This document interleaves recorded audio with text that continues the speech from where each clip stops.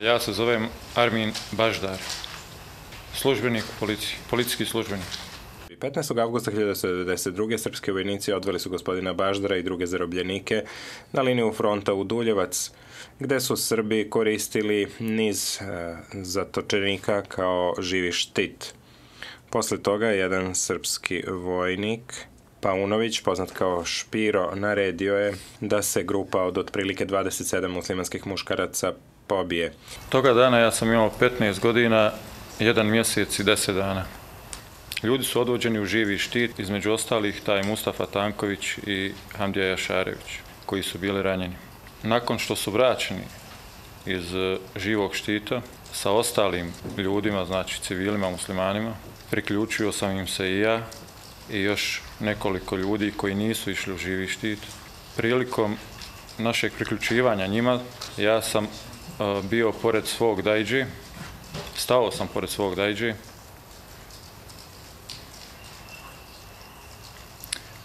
obzirom da su nam ruke bile povezane na leđima pojedinačno, znači zasebno svakom od nas, svojim laktom sam dodirnuo dajđu i pitao ga kuda nas sad vode.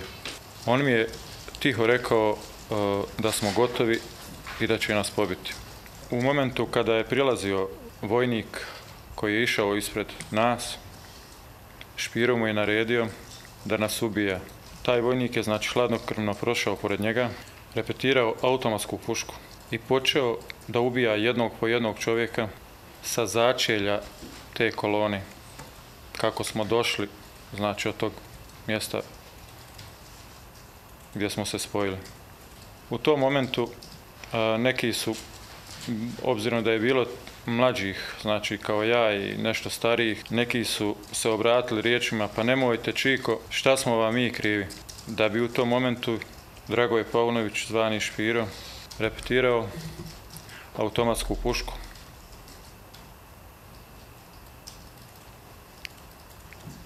I počeo rafalno da puca po nama. Ja sam tada pogođen u lijevu nadlakticu, pao sam, licem okrenutim prema zemlji. Dajđe je stajao prije samog strijeljanja, znači Dajđe je stajao s moje lijeve strane. Nakon, znači, te rafalne paljbe, kada sam ja pao, on je pao do mene, glava mu je pala na moju desnu ruku. Čuo sam kako krklja, kako ga guši krv. Očigledno je bilo da je pogođen u prijedjelu prsa pluća, a što sam se uvjerio nakon samog strijeljanja, kada sam odlučio da, da ustanem i da pokušam pobjeći, jer sam tad vidio da je mom dajđi krv išla na usta, nos i uši. Ovdje sam malo redoslijed ja zamijenio, ali evo pokušat ću da to objasnim.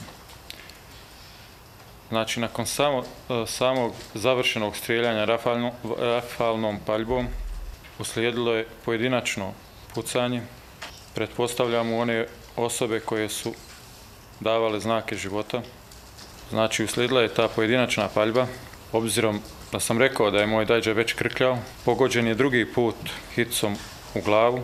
Taj isti metak je mene pogodio u desnu nadlakticu, Imao sam osjećaj da mi je ruka odbijena.